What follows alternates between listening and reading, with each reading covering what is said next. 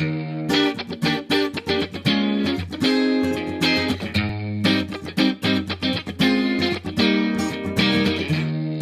four years old, my sister told me, Be yourself and you'll breathe with ease.